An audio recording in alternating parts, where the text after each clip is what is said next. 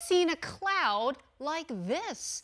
Yeah, that is actually a cloud hovering over the East Valley back in 2022.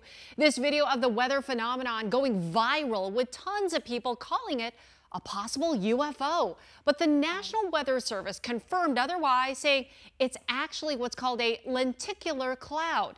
Now, these clouds are notorious for being described as UFOs because of their oval flying saucer like shape. But what causes it, and could we be seeing more clouds like this in the coming days? 12 News meteorologist Ginger Jeffries joins me now for Weather 101. Okay, looking at this, Ginger, I could totally see how so many people think this is like a UFO. Okay, but is it a flying saucer?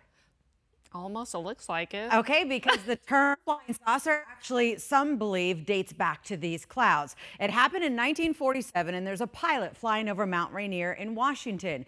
And he reports what he says looks like a saucer over water. He actually drew a picture of it, and I have that for you. Um, this is what he describes. Here's the top, and it's yeah. nice and thin. Mm -hmm. All right, so he gets misquoted in the newspaper, and the newspaper then starts using the word flying saucer. Well, a lot of meteorologists believe that what he actually saw was lenticular clouds because of the weather conditions that day. But, you know, was it a flying saucer, which started from his account, or was it a lenticular? They look the same apparently. Yeah, apparently. Okay, so how do these lenticular clouds form? Well, understand that they can form anywhere from the deserts to islands to mountain communities. And it's pretty complex, but what you really need is moisture and wind. The key though is you need wind that is perpendicular to any kind of obstruction like a mountain. So this past weekend, if you saw some lenticulars, we had the perfect conditions for it. We had moisture, the clouds, mm -hmm. we mm-hmm. had some wind. So what happens is these clouds come up and they have to raise up into higher levels of the atmosphere